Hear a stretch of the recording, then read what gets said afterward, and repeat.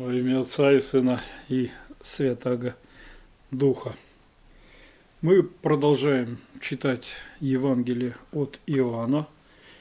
Это у нас будет седьмая беседа на Евангелие от Иоанна. И я вам обещал прочитать всю вторую главу и обсудить всю вторую главу.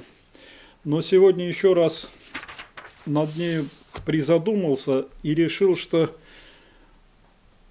не будем мы всю главу, мы рассмотрим чудо в Кане Галилейской. Поскольку, мне кажется,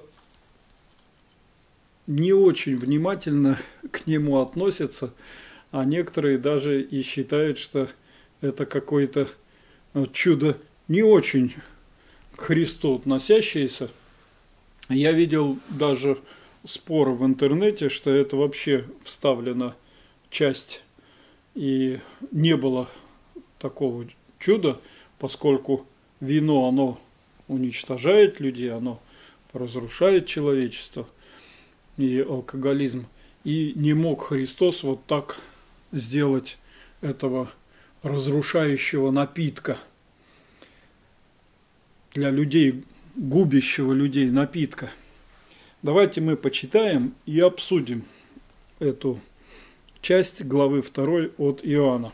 Итак, на третий день был брак в Кане Галилейской, и Матерь Иисуса была там. Был также зван Иисус и ученики его на брак. И как не доставала вина, то Матерь Иисуса говорит ему, вина нет у них. Иисус говорит ей, что мне и тебе, жено, еще не пришел час мой. Матерь его сказала служителям, что скажет он вам, то сделайте. Было же тут шесть каменных водоносов, стоящих по обычаю очищения иудейского, вмещавших по две или три меры.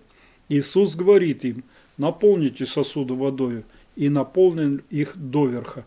И говорит им, теперь почерпите и несите к распорядителю пира. И понесли. Когда же распорядитель отведал воды, сделавшейся вином. Он не знал, откуда это вино. Знал только служители, почерпавшие воду. Тогда распорядитель зовет жениха и говорит ему, «Всякий человек подает сперва хорошее вино, а когда напьются, тогда худшее, а ты хорошее вино сберег доселе».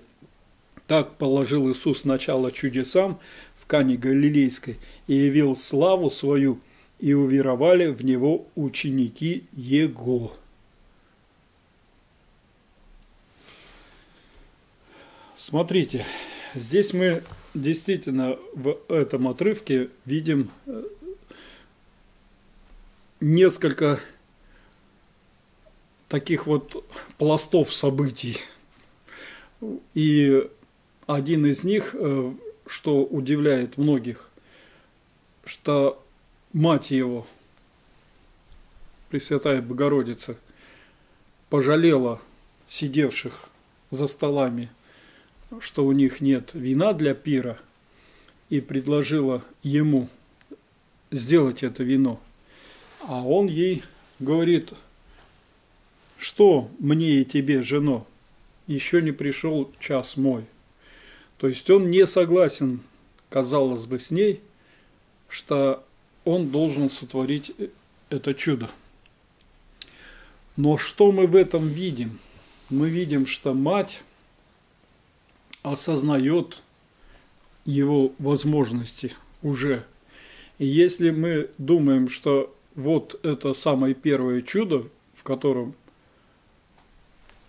Бог Слово открывается своей божественной сущностью, славой своей, то мы с вами можем задать вопрос, а откуда мать думает, знает, что он это сотворит? И вот то, что она знает, что он это может сотворить, это в большой степени доказывает то, что действительно все события по рождению, по воплощению Бога Слова происходили так, как мы их читаем в Евангелии.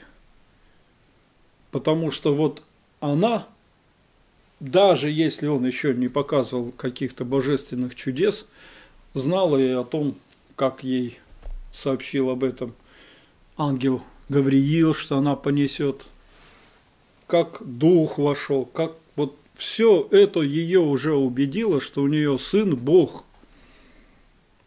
И ему ничего не стоит сделать из воды вино, просто пожалев этих тех, кто на Перу находится. Но мы сразу с вами видим еще один пласт, что здесь находятся ученики его. Не случайно Евангелие говорит, что его позвали и ученики вместе с ним на этом сидят э, Перу. И надо так понимать, что когда мать это озвучивала, то ученики к этому прислушались, прислушались. И у Иисуса, как человека, стоял вопрос, пожалеть ли тех, кто, значит, э, остался без вина на пиру и веселья не будет, послушаться ли матери и как выглядеть перед учениками. Как перед учениками выглядеть. И мы с вами видим, что Господь идет на то, что делает из воды вино. Что, конечно, величайшее чудо. Величайшее чудо. И чем это чудо в конечном итоге заканчивается? Вот какая его смысл мы в этом отрывке видим? Видим, что о том, что из воды вино получилось, знают только ученики, мать и почерпавшие это вино. Мы не знаем, сколько там, один человек или два человека. Кто вот черпнул и понес его к распорядителю. Но мы видим главный результат этого чуда. Так положил Иисус начало чудесам в Кане Галилейской и явил славу свою, и уверовали в Него ученики Его. Мы с вами только что обсуждали в предыдущей беседе, как Господь отбирает учеников. И каждый по своим возможностям и по своим талантам отбирается Богом по-разному. Кто-то умом силен, и вот он логикой доходит до того, что да, Бог есть, и э, Иисус и есть Бог – кто-то сердцем, через чувство, а кто-то слову верит, как Андрей поверил слову Иоанна Крестителя, что вот агнец, пошел за ним спокойно и э, уверовал так, что и за братом побежал, за Симоном. Мы нашли того, кого искали, кого ждали, Мессию Бога. То есть все они уже утвердились, что это Бог, ученики его – но свидетельства прямого, ну, кроме того, там, Нафанаила он сказал, я тебя под деревом видел, там, и для него это было уже определенное чудо. Но такого вот свидетельства, которое совсем бы запечатлело им силу Иисуса, у них еще нет. Они веруют, но свидетельства еще вот прямо такого нет. И поэтому, когда мы рассматриваем вот это чудо, то это чудо было сделано конкретно для учеников. Для того, чтобы дать им уже уверовать на человеческом уровне. На человеческом. Потому что все вот эти чудеса, значит, которые и Христос творит, и церковь иногда творит, и святые творили – они для уверования на человеческом уровне. Сказать, что они несут какую-то спасительную силу, да нет, они все для верования человека. Потому что не чудом спасается человек, а верою своей по вере нам дается. Но чудеса, тем не менее, мы имеем, имели и видим, с кого они начались в Евангелии, с Христа. Но я здесь хотел бы обсудить и этот вопрос, а почему Христос начинает с чуда воды притворения в вино. И как-то развеять вот это понятие, что таким образом он открывает винную тему, так будем говорить, для человечества. И с этого момента стали спиваться в человеке. Да нет, мы знаем, что и до Христа вино уже много тысячелетий существовало и применялось в том числе и в богослужебных, и в каких-то там э, ритуалах и всего этого. Говорят, что первое это вино появилось, когда скисли какие-то ягоды в каких-то лужах, и а, люди их или там в камнях, и люди их отпробовав, поняли, что это вот таким образом а, происходит.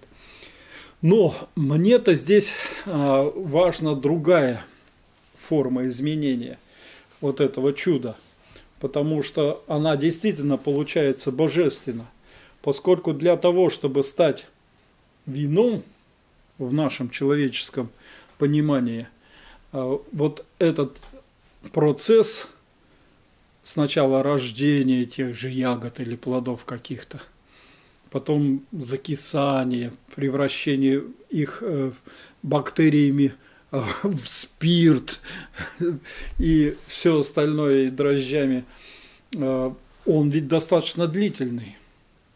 Длительный. И он э, получается менее естественный, можно сказать, такой самый противоестественный в природе. Ну, все в природе, например, может окаменеть, если потеряет воду.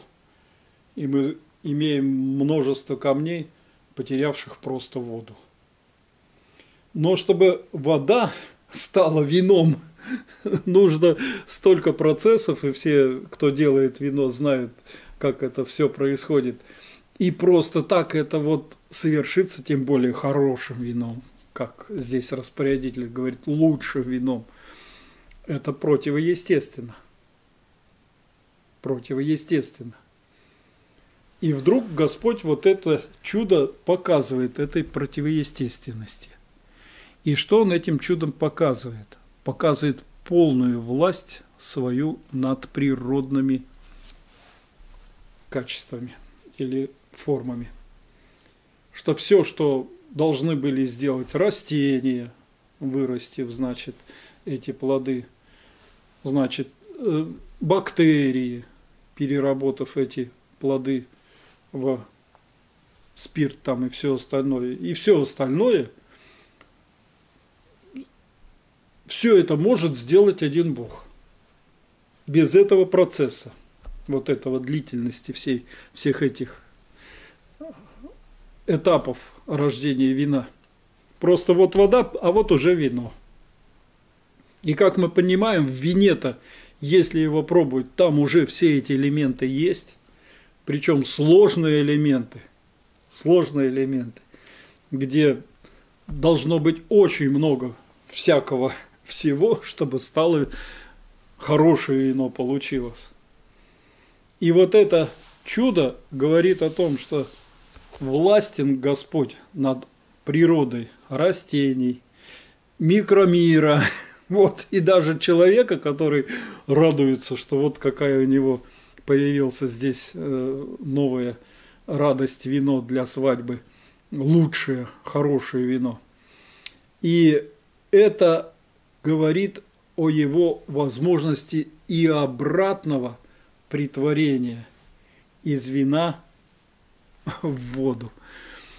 То есть, если кто-то утверждает, что именно из-за вина гибнет человечество, и вино по воле Божией, созданное этому способствует, то я вам хочу сказать, что это полное непонимание того, для чего дано вино и как им распорядиться.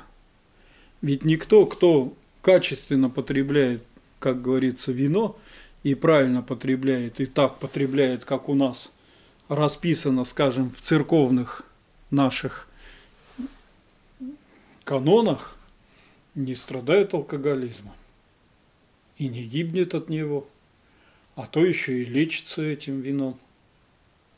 Но когда мы после еще и, читаем о том, то есть узнаем о том, что вино притворяется в кровь и тело Господне, преосуществляется, вот извините, вот все-таки у нас немножечко другое понимание, не, не притворяется, а преосуществляется, то э, и это вот здесь уже доказывается, что уж если Господь может воду в вино превратить, то почему бы ему вино не превратить в кровь, когда мы это хотим? Одохотворить его до состояния крови Христовой. И поэтому здесь обвинять Христа в том, что он открыл вот такую лазейку для дьявола, и таким образом стали люди гибнуть. Нет, люди гибнут в своей бездуховности. Если они с нормальной духовностью, то мы с вами знаем, что везде потребляется в православии. И на фоне, и в монастырях, и в храмах. И я тоже уж, извините, за такое откровение потребляю иногда вино. Но кто правильно потребляет, не становится алкоголиком. Поэтому здесь этого обвинения быть не может. Но интересная, скажите, часть, да?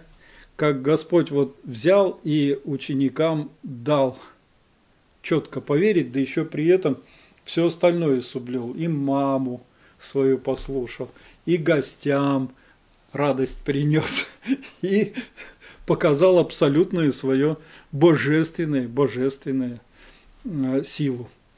И мне очень странно, когда вдруг начинают э, обсуждать, что нет, это был обычный человек, у него духовность э, какая-то в него вошла, и он стал говорить, вот как пророк, как Бог. А вино-то он делал как? Кто? Кто может э, сделать из воды вино? Мне кажется, это полное доказательство славы Его, и явил славу свою, и уверовали в Него ученицы Его. Так что и мы давайте уверовать больше и больше в то, что Господь наш Иисус Христос – это сам Бог Творец, Слово, Сын Божий, с Ним Дух Божий и Отец, и Отец, который дальше в Евангелии тоже появится, и мы про него будем читать. Помоги всем Господь, читайте Евангелие. Многие, кто читает, ну, я гляжу, вы там оставляете комментарии и говорите, что ой, мне понятнее стало, а мне легче стало.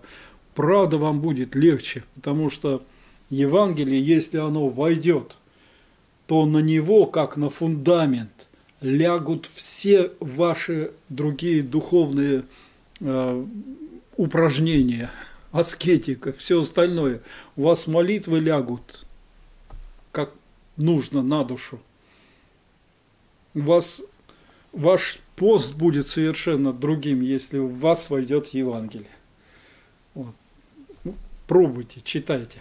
Помоги всем Господь, здоровья всем, радости. Аминь.